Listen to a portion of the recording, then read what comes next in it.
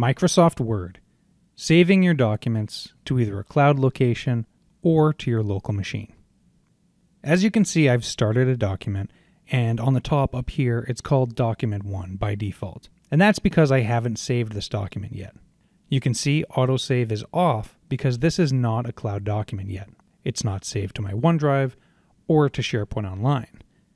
If I click here to save, what's going to happen is it's going to automatically try to save this document to my OneDrive. I'm going to name this file. We can see the file extension is .docx, and this is where I can choose a location. You'll notice that when I clicked save, this automatically popped up. Now I'm going to choose OneDrive Learning. What it would read is OneDrive dash your organization's name. Mine happens to be called Learning.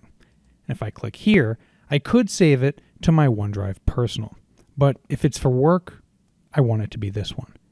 I can also save it to my documents or other groups or teams that I'm a member of. I can choose more locations. And from here, I can choose any folder I'd like, including SharePoint sites, which would be teams or groups that you're a member of. I can also save to this PC if I'd like to, navigate out, and save that document. I'm going to go back, save my document. I'm going to call it Save Document Practice, and I am going to save it to my organization's OneDrive. I'm just going to click Save. When I do that, it's uploading this document to the cloud,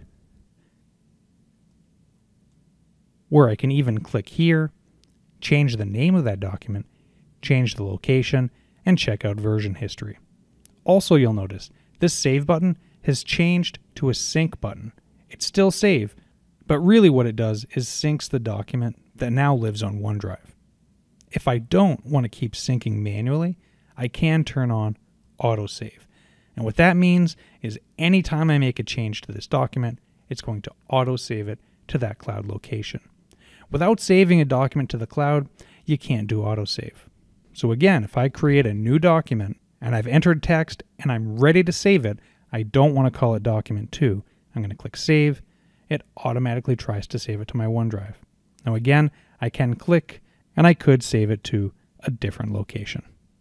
Ideally, you would want to save your document to either your organization's OneDrive, SharePoint, or a group or team that you're a member of, because then you can collaborate with other people and you have anywhere access.